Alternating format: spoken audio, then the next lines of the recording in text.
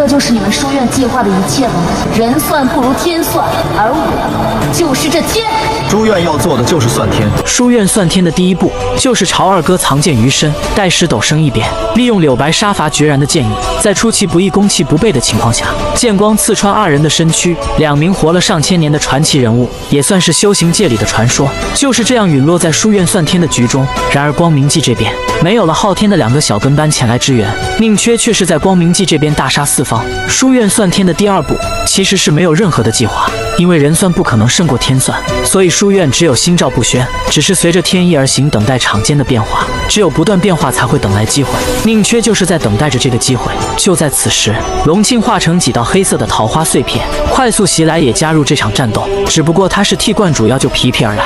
熊出没看着光明会受到了宁缺与龙庆的破坏，趁着宁缺不备之时举杖偷袭，眼看着就要偷袭得手之时，不料却被叶红鱼的道剑从天而降挡下。他的命是我的。对。总比别人杀得强。天女此时此刻看着你们呢。此时掌教熊出没看着场间发生的变化，对光明会的召开越来越不利，于是他决定不再留守进入天启。他伸出双手迎向湛蓝的青天。如今昊天就在人间，这股磅礴的力量在不需跨越青天，不会有任何的损耗直接相连。此刻的熊出没一旦进入了天启，他将会拥有强大到不可思议的力量。然而此时的宁缺突然明白，他一直在等的机会就是此刻，利用他与桑桑互为本命的关系抢夺天启。我有一把刀，保护桑桑睡得好。桑桑，我知道是你的力量。就在熊出没还在抱着美好的幻想之时，岂料一道恢宏而又磅礴的昊天神辉从桃山光明神殿降落到宁缺的身上。堂堂西陵掌教，心心念念的光明神辉，居然落在我们小师弟的身上。我看你们今天怎么和我们打？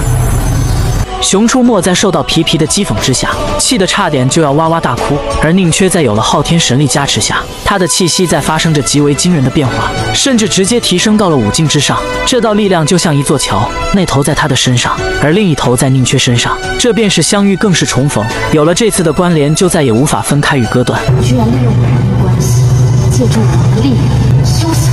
此时的昊天也可以说就是桑桑，他愤怒地停止了继续向宁缺输送神力。他的愤怒自然是来自那道再也斩不断的尘缘。就在他想要痛下杀手时，他感觉到一道剑意起自万里之外，贯穿天地的剑意化作一道凌厉光线，来到了光明神殿。来人正是人间第一强者剑圣柳白。柳白之所以能够出现在光明神殿，其实这也是书院在等的变化。即便他是昊天要镇压这把人间之剑，必然也会很麻烦。就在昊天面对人间最强者之时，宁缺趁机在光明会大放光明，场间顿时炽烈的神辉释放开来。纵使全境时期的观主在场，也是难以抵挡，更何况是只会装逼的熊出没。就连在场的所有西陵术士，也被这道神辉灼透身躯而死。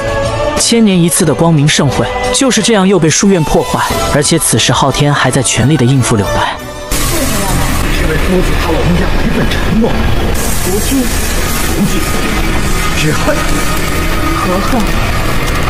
恨不能与柯浩然并肩，以连生存武；恨不能生于千年之前，以光明战于荒原。